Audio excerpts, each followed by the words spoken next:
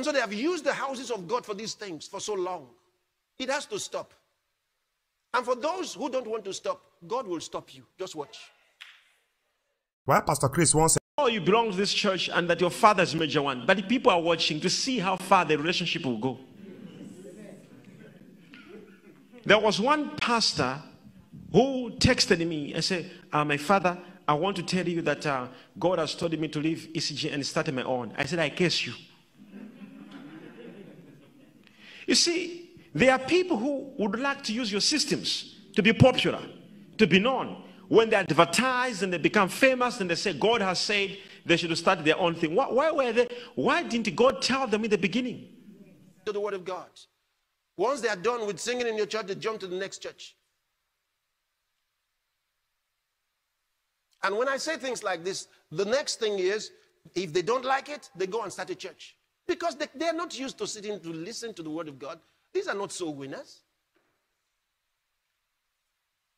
Because it's all about money at the end of the day money and fame. That's what they seek. Money. You see, there are people who would like to use your systems to be popular, to be known. When they advertise and they become famous and they say God has said they should start their own thing. Why, why were they? Why didn't God tell them in the beginning? I said you, and whosoever shall follow you, I said you are cursed.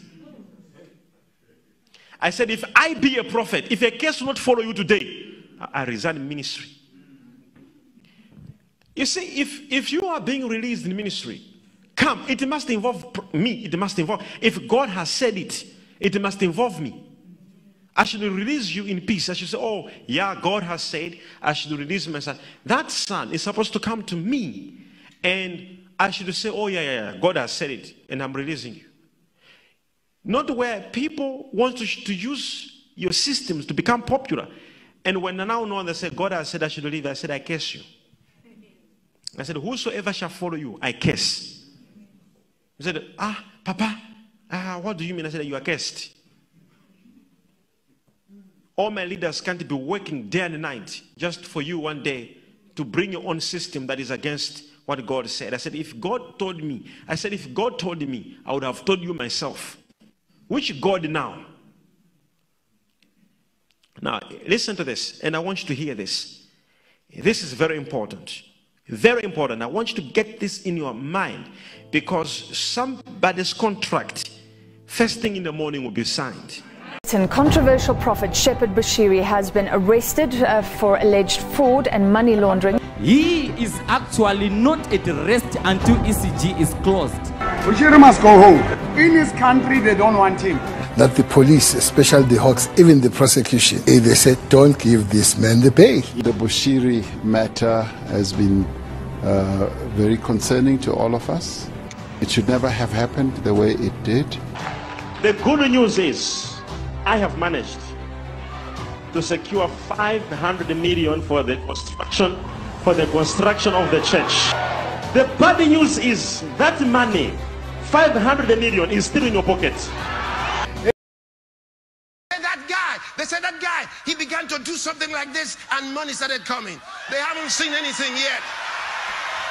You are a That's it just for all of you that still call Christoya Kilome a man of God. He sounds like Bushiri, he talks like Bushiri, he reacted like Bushiri, he does everything like Bushiri and Ubat Angel. If you say Ubat Angel is fake and you say Chris is a man of God, so you don't know what you are doing. If you say Bushiri is fake and you say Chris Oyakilome is a man of God, you joking, you deceiving yourself. Anita that left him, that dumped him, knows that she made a mistake she has married to Satan and she ran away for her life.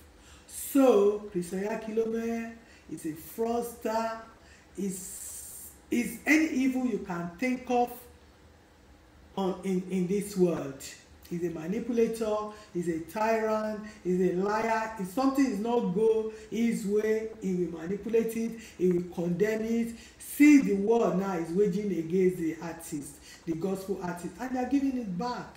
And he just dragging himself on the floor. Because he thank you my people. I see you in my next video. Bye for now. By the way he said jesus is coming in 2029 So 2029 is just around the corner. We shall see. Bye.